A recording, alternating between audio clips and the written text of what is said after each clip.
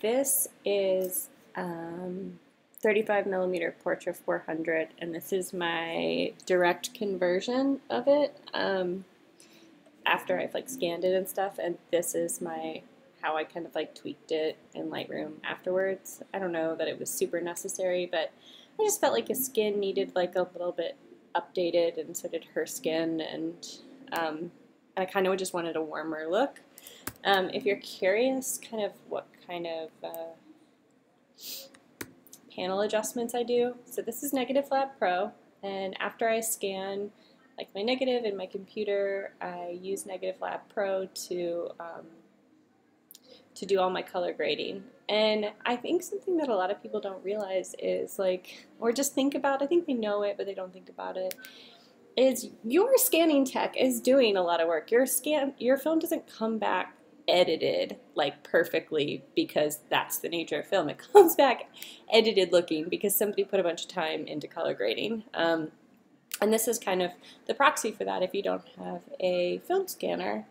So um, you can have like all sorts of different kind of presets. That's essentially what that is, and tone curve like things. Um, imagine like a J curve or an S curve or whatever. And then there's all sorts of just like basic adjustments here.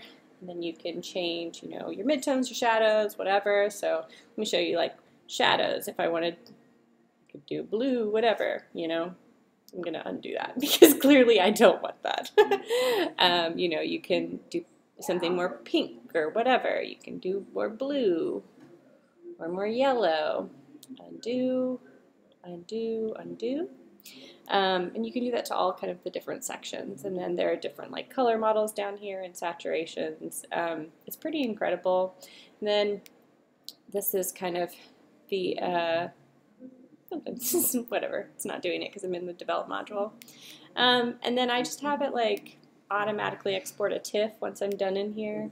Uh, and these are the adjustments I made here. So the adjustments on the TIFF, um, I use, now that Lightroom 13 has um, the point color adjustment, I'm like obsessed with it. It's like incredible. You should, if you don't have, where is it? Ah, there's too many little boxes now. I don't like it.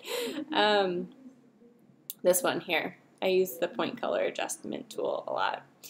Um, and so I did that on his face, and that helped like clear up the skin, and that was really the only tweak I did. Um, yeah. Anyway, learned this and more in my digital camera scanning class. My very last one is going to be October 30th, and I don't know if I'll hold it anymore or what's going to happen to it. So if you're interested, take it.